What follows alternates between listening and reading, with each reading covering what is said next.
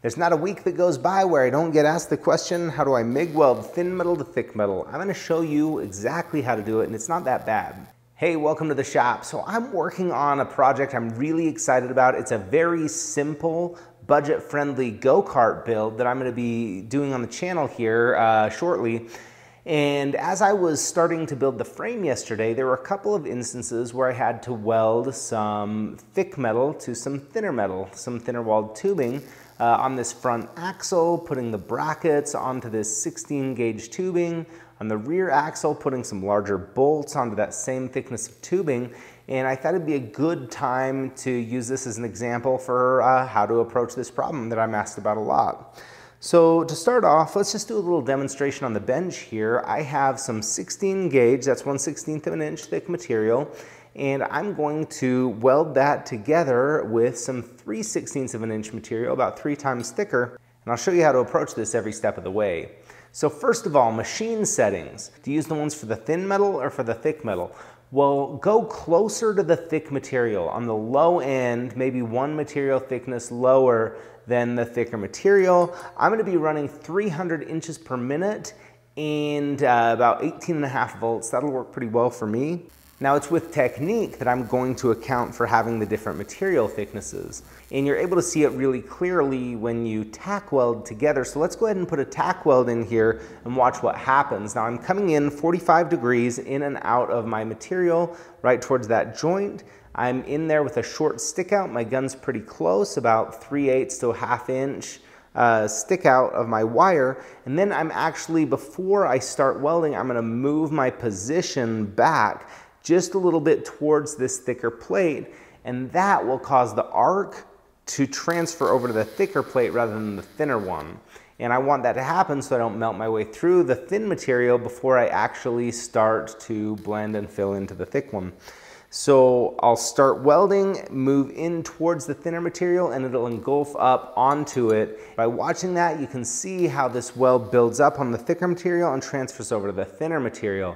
Now let's go ahead and weld all the way along this T-joint. And you can see I started on the thicker material, moved in until it was transferring to be on both and now I'm just following along with a steady, consistent travel speed. I'm not using any kind of weave or manipulation or anything like that. I'm just keeping it simple to move straight along in a line. And afterwards, this weld came out nice and smooth.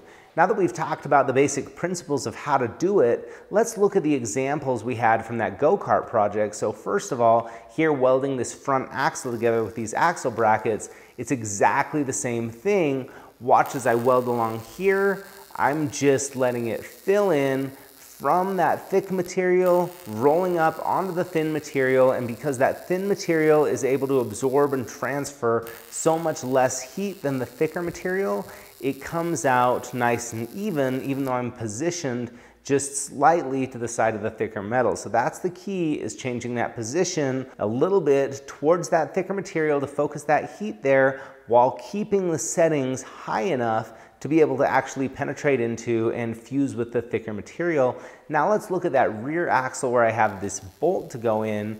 Here is a little bit of a challenge because I actually have a gap to fill as I'm working through it, but it's a good demonstration of how this works because I'm just welding on my thicker material, building that up till it builds up to the point it melts that thin material easily, and then it fills in and it comes out as smooth as you can have when you have a little bit of a gap and you're welding thick to thin, um, but overall, the same basic technique applies.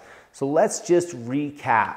One, make sure that you have your machine set hot enough for that thicker material, but on the low end of the range for it. So you might go one material thickness lower on your chart because a lot of recommended settings are just a little bit too high.